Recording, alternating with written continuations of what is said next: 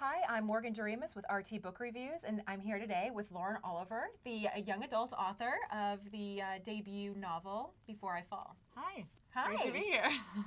nice to have you. Um, I, although I'm not sure if you should be talking to me right now, Mm-hmm. considering the fact that I was a nerd in high school, and from your book, I kind of take it that you might not I was gonna say, why are you assuming that I was on the other side of that? Um, well, fortunately, I have matured somewhat from my my high school days, um, and I had a, a variety of friends in high school. Fortunately, I'm glad to say. I mean, I, I was I had some great friends, and we definitely had prom dates and everything else. Um, but I was also in an a cappella group. I sang in an a cappella group, so I can't that- even that makes up for it. Yeah, yeah. I performed in musicals, so. Okay. Yeah. So then this is this is okay Yeah, then. this is okay. I'll, I'll allow it. I'll Good, allow it. Yeah. well, and, and the reason I say that for those who haven't read your book yet, mm-hmm. you have a group of friends um, that are uh, that are main, the main characters, mm-hmm. and they're kind of your your typical mean girls, I guess mm-hmm. is what you want to say. They they do a little bit of terrorizing of the school, especially the um, the underclassmen. They do. I mean, you know, I partly one of the reasons I wrote Before I Fall was first of all, it is a book about change and growth. I mean, the main character starts out deeply unsympathetic at the beginning. Um, I mean, she's incredibly mean, actually. Let's be honest, um, which was a little bit nerve wracking as an author because you're, one of the cardinal rules of writing is that you're supposed to make the, your character engaging and sympathetic from the start. And my character is very dislikable from the start, and she's And supposed she to be. she you write in first person, Right, so you're literally inside of her In her head, head, as she's doing these things that you're just cringing at. Right, you're like, right. oh, how can she? Yeah, how absolutely. can she do this? Well, then, and part of what I also wanted to do, though, as well, was that there aren't a lot of books that have actually, although the mean girl phenomenon is depicted in a lot of books, it's always from the perspective of the underdog. It really hasn't ever been done from in, in book form from like a more rounded perspective about why people are so mean to each other, why they act out in this way. So, although you may not ever love some of Sam's friends, hopefully you love Sam, the main character, by the end. But even if you don't love her friends, hopefully you do gain a deeper understanding of them and some of their own, you know, feelings of marginalization and pain as well as causing them to act out in this way. I tend to believe that the same conditions that enable people to become, you know, uh, social pariahs are the exact same conditions that also facilitate, you know, the terrorizing and whatever. It's all stems from unhappiness and a sense of detachment, you know.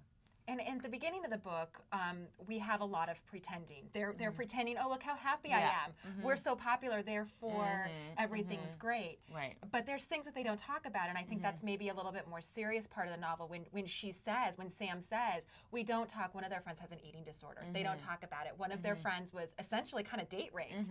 They don't talk about Right, that. right. Um, and these are just some things. You know, another another one has an alcoholic as a parent. Right. And it, it's more like they can sit around and they can talk about fashion and they Yeah. can talk about boys. Yeah. But then there's definitely some lines that they Right, draw right. because it is so painful for them, Right, and they, right. they at their age they don't know how to deal with it. Absolutely. And I mean, I think there is a certain amount of escapism going on. And part of, I mean, certainly part of Sam's journey is not just learning that she's connected to other people, but actually becoming connected and engaged to her own life and to the meaning in her own life. I mean, at the start of the book, these are essentially girls who kind of are there's a certain level of disconnection from the reality of their own experiences and as you said from certainly some of the more painful aspects and some of that is you know some of the friends that the friends help each other escape from those realities and that's a good thing but simultaneously you know they're not dealing really meaningfully with a lot of stuff that they need to deal with.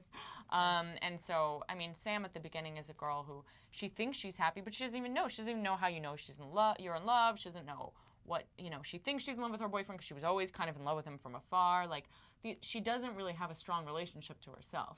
Um, and she doesn't know that even at the start of the book. And then again, over the course of the book, it's about her evolution and learning, learning about that and about herself.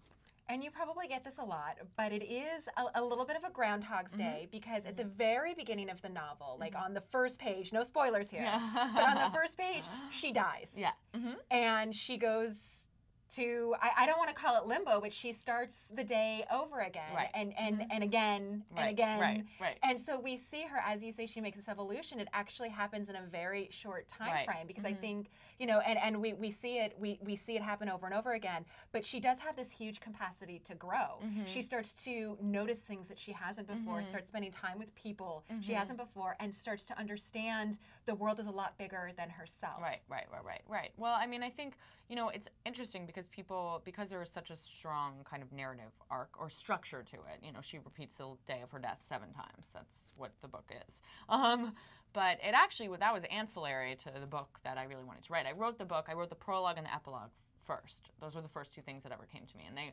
were you know they mirror each other but with significant differences and the whole rest of the book was I was trying to figure out how would I move this character from this place to that place. Like how would she grow you know, so expansively over the course of the book. What would enable me to do that?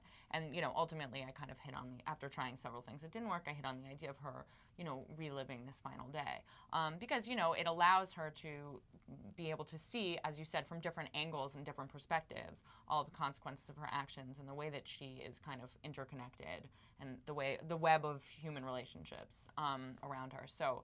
Um, but yeah, that was almost secondary. I really just wanted to write write a book about change, about somebody changing, which is one of the things that interests me in life.